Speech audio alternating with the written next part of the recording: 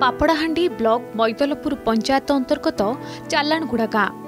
ଗାଁର ହରିଭତ୍ରା ଓ ଦୁପଦ ଭତ୍ରାଙ୍କ ଚଉଦ ବର୍ଷୀୟ ପୁଅ ମେଘଭତ୍ରା ଜନ୍ମରୁ ଭିନ୍ନକ୍ଷମ। ହାତଗୋଡ଼ ଚଳୁନଥିଲା ବେଳେ ମା ଓ ବାପାଙ୍କ ସାହାରାରେ ରହିଛନ୍ତି।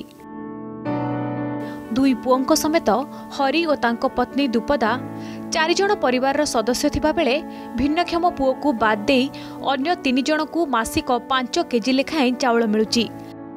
আধার কার্ড হয়ে নপারিবারু ভিন্নক্ষম পুয় মেঘ ভত্রাঙ্কু রাশন কার্ডরে অন্তর্ভুক্ত করা যায় না অন্যপটে ভিন্নক্ষম প্রমাণপত্র মধ্য নথিবারু ভত্তা মিলু না এবে ভোক উপাসরে সারা পরিবার ସବୁ ଲୋକମାନଙ୍କୁ ମିଲ୍ସି ଯେ ଆମକୁ ତ କିଛି ମିଲ୍ବାର ନାହିଁ ଆଧାର କାର୍ଡ଼ ଗୋଟେ କରିଦେଲେ ସବୁଟା ହେଇସି ବୋଲବା କଥା ଆର୍ ସେଇ କାଲ୍କୁଲା ଦେବେ କେନ୍ତା କି ଆଧାର କାର୍ଡ଼ କ'ଣ ବୋଲେ ପେଲେ ଆଧାର କାର୍ଡ଼ ଆକା ବୋଲବା ଅଛି ମେଡ଼ିକାଲ କୋର୍ଡ଼ ନେଇଥିଲୁ ଆଇତି ଦେଇଥିଲି ମୁଦରପୁର ମୋର ପିଲାକେ ଆଧାର କାର୍ଡ଼ ମିଲ कार्ड मिलो चौल कार्ड मिलो आरी पेंशन टाग मिलो बोलते मैं लड़ी लागबो बोल बिचे एबे खाइटा तो तो अंति तो बसी फोट लाचे बोलते हम कोई हमके तो किछीटा नहीं मिलबार घर द्वार तो देखबास बोलबी ଭିନ୍ନକ୍ଷମ ପୁଅ ସେବାରେ ଦିନରାତି ନିୟୋଜିତ ରହିବା ସହ ମୂଲ ଲାଗୁଥିବା ପରିବାର କାମଧନ୍ଦା ଛାଡ଼ି ଦେଇଥିବା ବେଳେ ଓଳିଏ ଚୁଲି ଜଳିଲେ ଆର ଓଳିକୁ ଉପାସ ରହିବାକୁ ପଡ଼େ ଅନ୍ୟପକ୍ଷରେ ଭିନ୍ନକ୍ଷମ ପୁଅର ଫିଙ୍ଗରପ୍ରିଣ୍ଟ ସମସ୍ୟାରୁ ଆଧାର କାର୍ଡ ମିଳିପାରୁନାହିଁ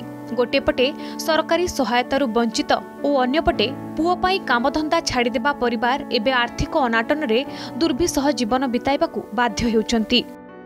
ଯେତେ ପିଲା ଆଉ ଯେଉଁମାନେ ଅକ୍ଷମ ଅଛନ୍ତି ତାଙ୍କର ପାଇଁ ତାଙ୍କର ଆର୍ଥିକ ଅବସ୍ଥା ଶୋଚନୀୟ ଆଉ ଅବହେଳା ଦୃଷ୍ଟିରୁ ସେମାନେ ସରକାରର ବେନିଫିଟ୍ ପାଇବା ପାଇଁ ବଞ୍ଚିତ।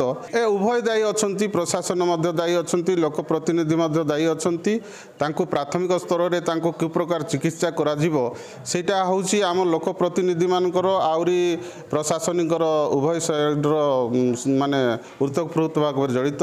ଏଣୁ ସେମାନଙ୍କ ଦୃଷ୍ଟି ଆକର୍ଷଣ କରି ହିଁ ତାଙ୍କର ପ୍ରତ୍ୟେକ କ୍ଷେତ୍ରରେ ସାହାଯ୍ୟ କରିବାର ଆବଶ୍ୟକ ଅଛି। ଏ ଖବର ତ ମୋର ଦୃଷ୍ଟି ଗୋଚରକୁ ଆସିନାହିଁ ତ ଆପଣଙ୍କ ଆପଣମାନଙ୍କ ମାଧ୍ୟମରେ ହିଁ ଶୁଣିବାକୁ ପାଉଛି।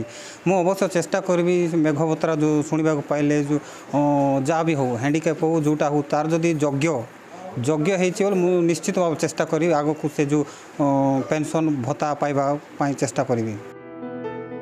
କେବେ ପ୍ରଶାସନ ମେଘଭତ୍ରା ଅନ୍ତର୍ଦ୍ୟ ଯୋଜନାରେ ସାମିଲ କରି ତାଙ୍କୁ ମାସିକ ଭିନ୍ନକ୍ଷମ ଭତ୍ତା ପ୍ରଦାନ କରାଯିବା ପାଇଁ ସହଯୋଗ କରୁଛି ତାହା ଦେଖିବାକୁ ବାକି ରହିଲା ନବରଙ୍ଗପୁରରୁ କ୍ୟାମେରା ପର୍ସନ ବିକାଶଙ୍କ ସହ ସୁମିତ କୁମାର ଘଣ୍ଟଙ୍କ ରିପୋର୍ଟ ଅର୍ଗସ୍ ନ୍ୟୁଜ୍